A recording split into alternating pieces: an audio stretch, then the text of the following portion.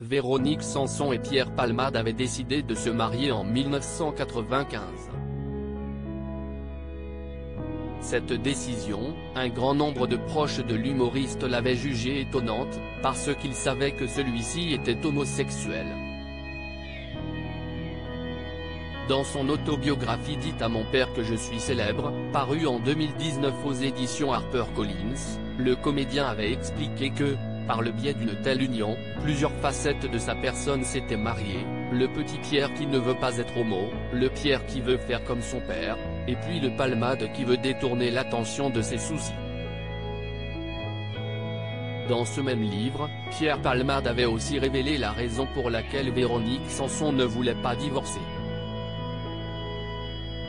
En 2001, il lui avait fait part de son souhait à ce sujet disant vouloir parler publiquement à la presse de S. homosexualité. Mais l'auteur-compositrice interprète et pianiste avait refusé, car elle souhaitait que tous deux restent mariés, d'une façon tacite, romanesque, selon les propos écrits par l'humoriste à ce sujet.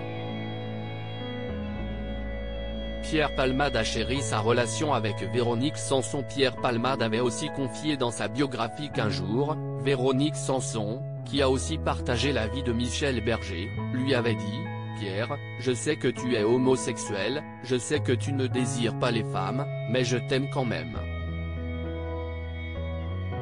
Selon le comédien, l'idée même de divorcer blesse, est, profondément son épouse. Dans le même contexte, celui qui n'a cessé de chérir sa surprenante histoire avec l'interprète de Besoin de personne, Vancouver ou encore Seras-tu là? Avait confié avoir conscience que leur relation était vouée à ne pas durer. Dès leur passage à l'église, d'ailleurs, il avait pressenti que leur histoire ne serait pas simple. Devant le curé, j'avais été mal à l'aise, avait-il écrit dans sa biographie.